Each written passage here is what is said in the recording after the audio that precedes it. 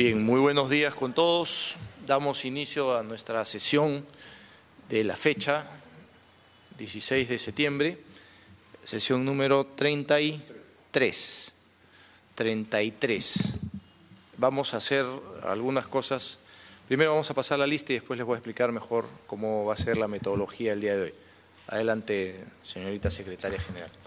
Señor Sergio Mesa Salazar. Señor Juan Briceño Pomar. Señorita Ilia León Gutiérrez.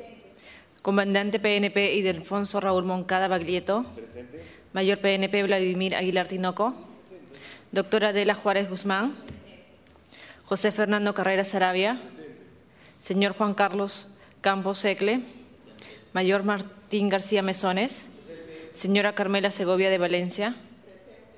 Ay, corón, señor alcalde. Muy bien, muy agradecido.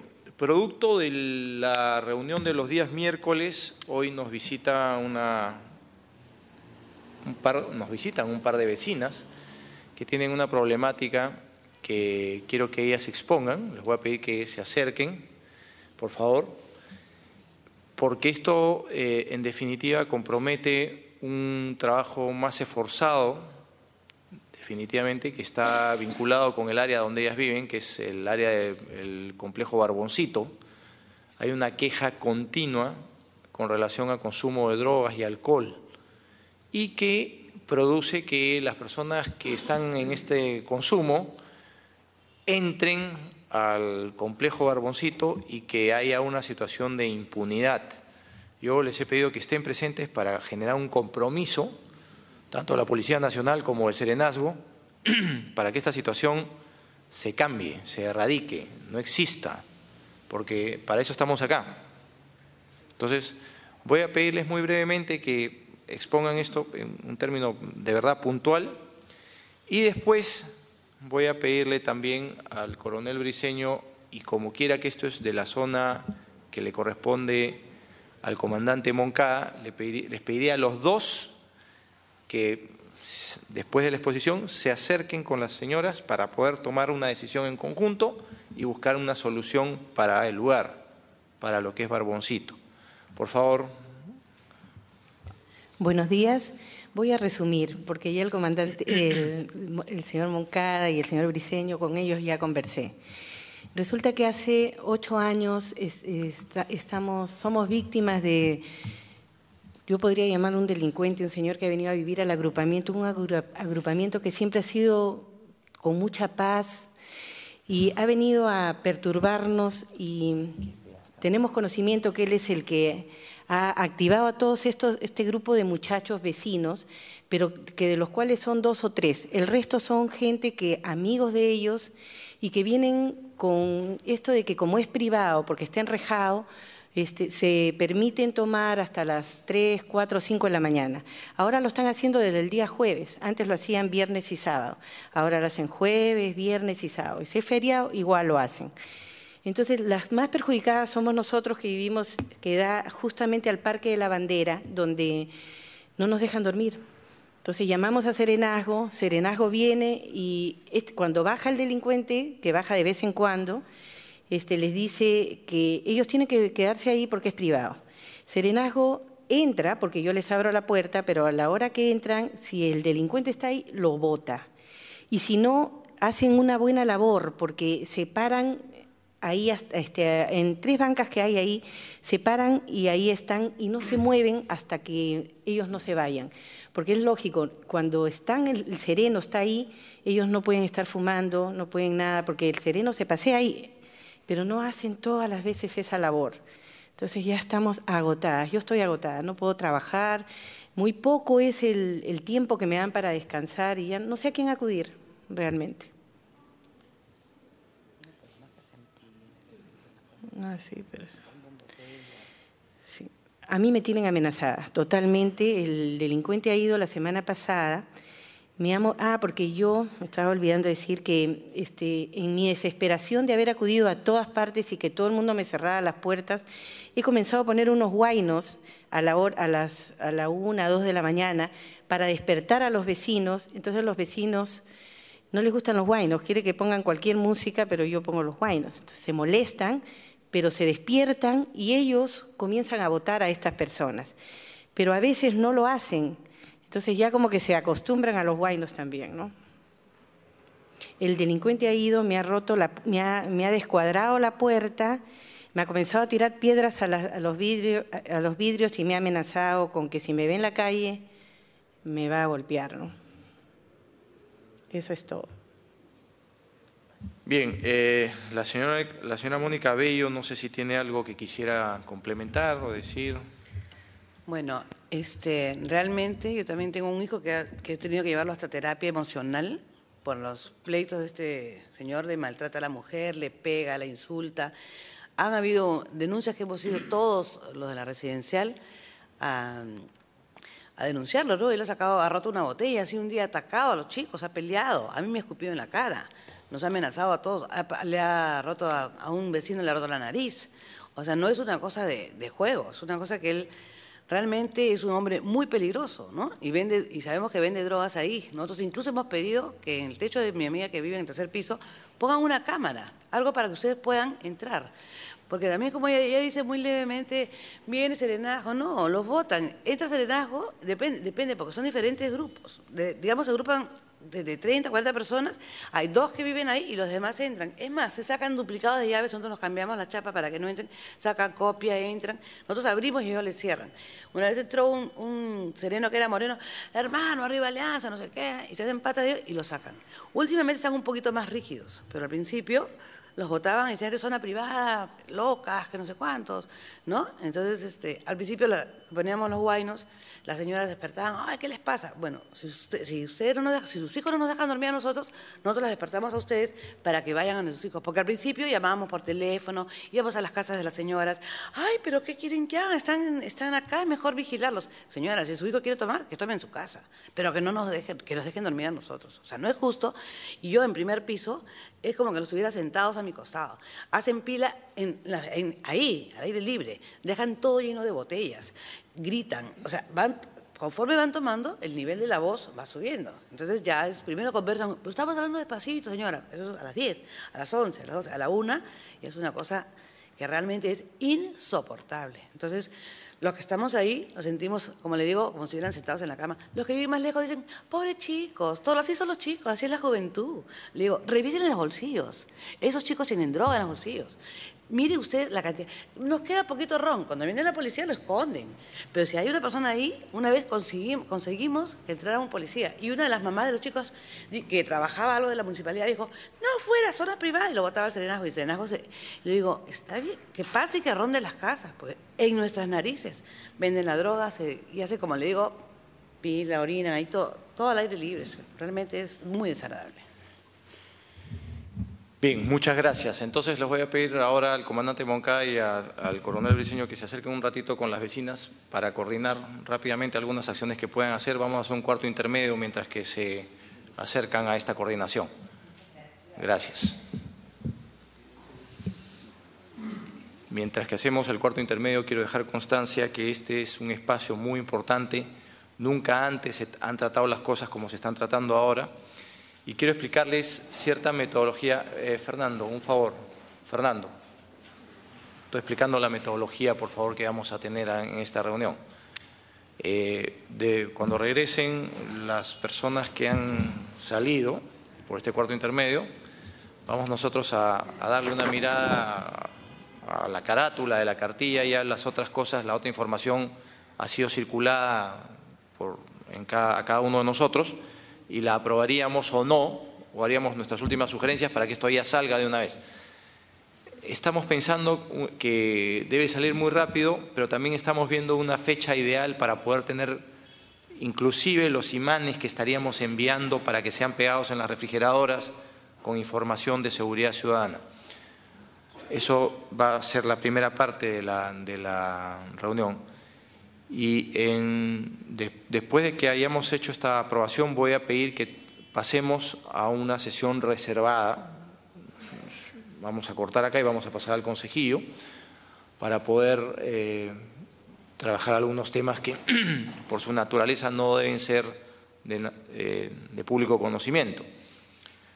Tengo algunos aspectos que quiero trabajar puntualmente con el equipo, con la mesa de trabajo.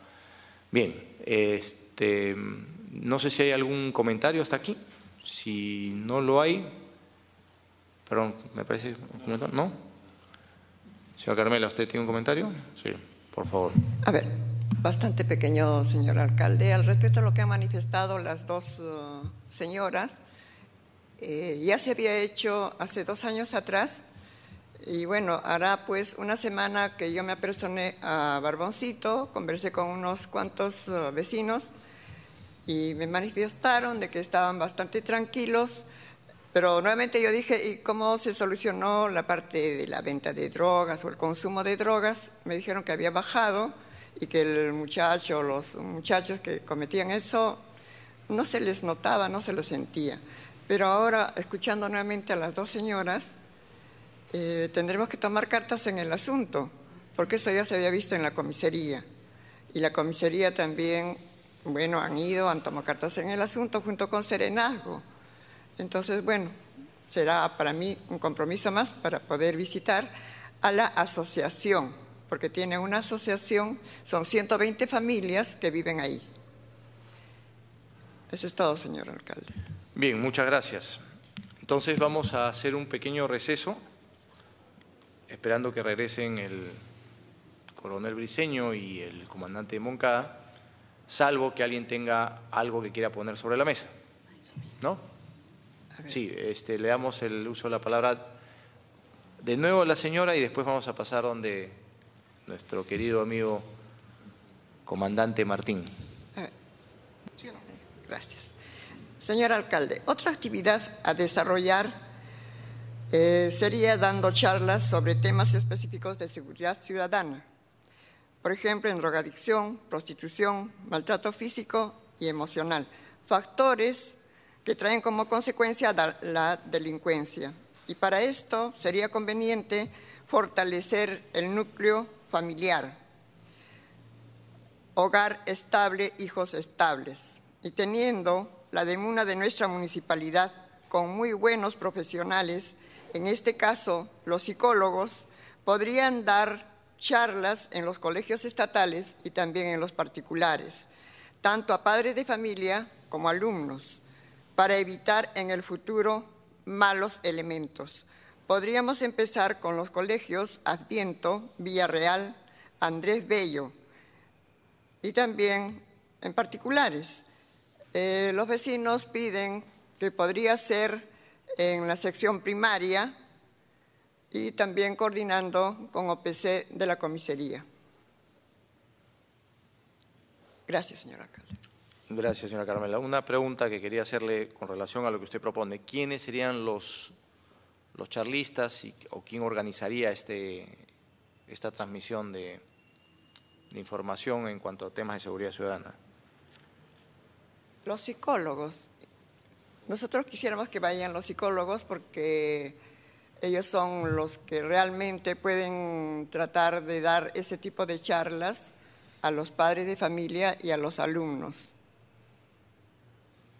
lo que no le iba a comprender muy bien es qué, qué psicólogos serían los que usted convocaría. ¿Qué tipo de psicólogos? Sí, ¿de dónde? ¿De qué instituciones? De la DEMUNA. Nosotros no tenemos la DEMUNA en la municipalidad. Sí, hay una DEMUNA, atrás, pero... Años atrás, señor alcalde, eh, la DEMUNA también nos apoyó. Y se fue a los centros educativos para dar este tipo de charlas. Ya. Porque ahorita... Bueno, lo, que usted está proponiendo es que de alguna manera retomemos algo que se hizo en alguna oportunidad previa y que tuvo buenos resultados. Vamos a hacer una coordinación entonces con nuestro gerente de eh, Desarrollo Social, el señor Carlos Contreras, para ver qué disponibilidad tenemos, a ver si podemos replicar esa buena iniciativa. Hacemos la coordinación. Se toma en cuenta lo que usted menciona. Muchas gracias, señora Carmela. Martín Mesón. Buenos días. Eh, era un alcance. Ayer que circulaba por el circuito de playas, en la hora nueva, hay un, al, pasando ya la bajada de San Martín, aparentemente hay una cisterna ahí, ¿no?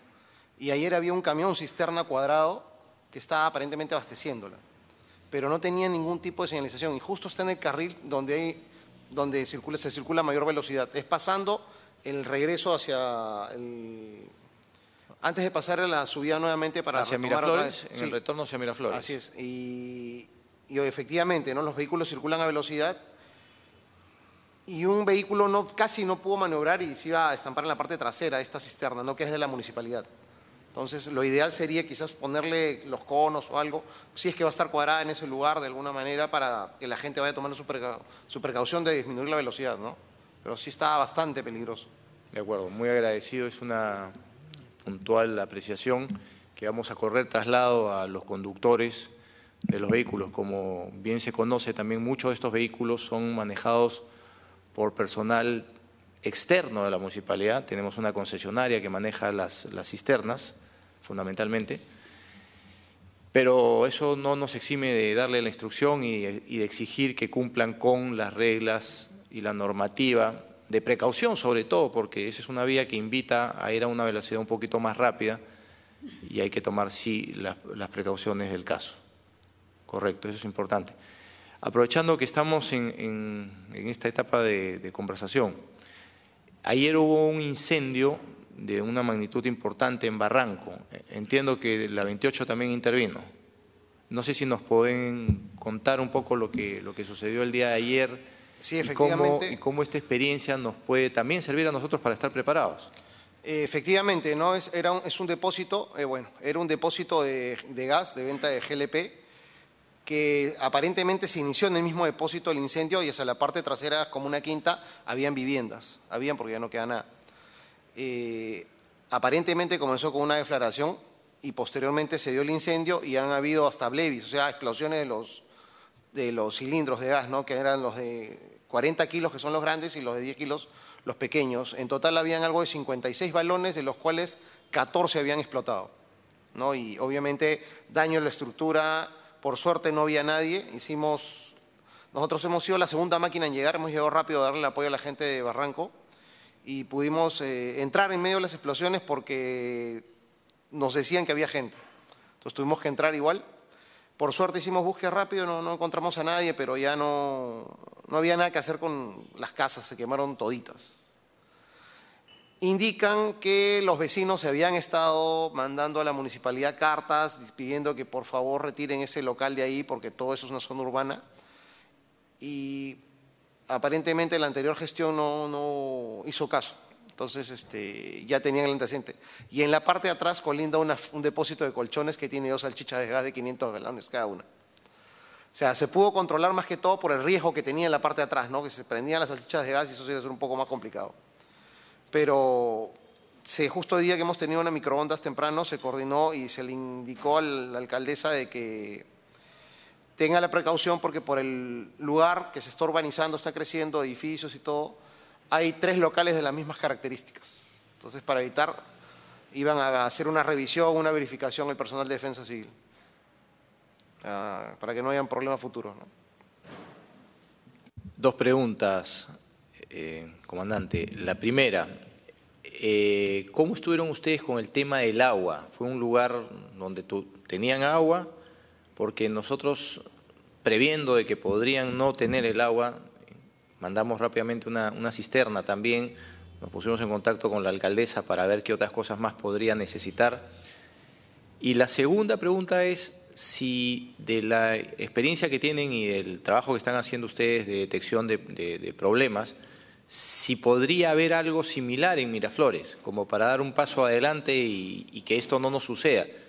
Dicen que las personas inteligentes aprenden en cabeza ajena y como yo estoy seguro que aquí en esta mesa todos tenemos algún grado de inteligencia im- importante, vamos a aprender de esta experiencia para estar un paso adelante, ¿no?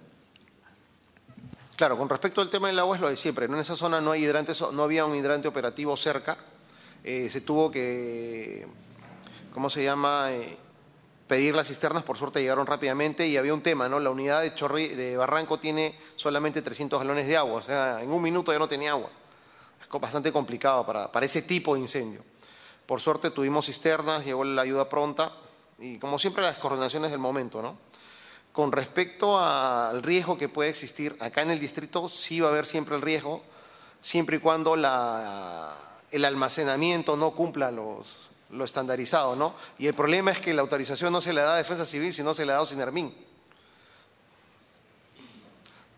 Sí, es, es a la, porque consultando, haciendo las consultas de cómo había podido funcionar ese local ahí, indicaba la municipalidad que Oxinermin le había otorgado la licencia. Entonces, este, y dijeron que eh, ellos no podían hacer nada. Ya, ahí hay un tema que nos tiene que servir a nosotros porque finalmente las licencias las otorga la municipalidad.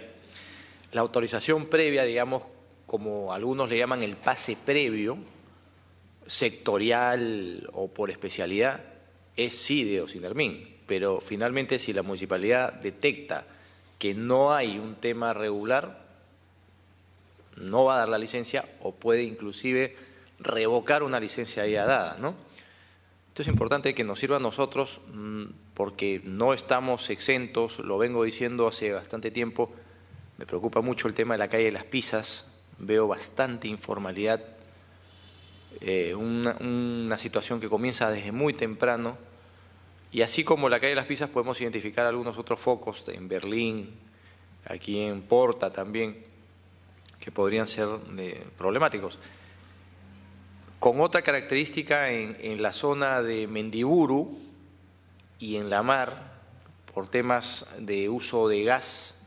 Entonces me gustaría que esta experiencia nos ayude a pensar si estamos lo suficientemente preparados o si tenemos identificados los puntos, digamos, potencialmente complicados. Estoy seguro que Juan Carlos los tiene, tú también Martín, pero un poco más conversar un poco más estos temas para que estemos algunos pasos adelante. Eso es muy importante tener estos pasos adelante porque si no, no nos vamos a ver sorprendidos. Es como lo que estamos trabajando en el Comité de, de Defensa Civil.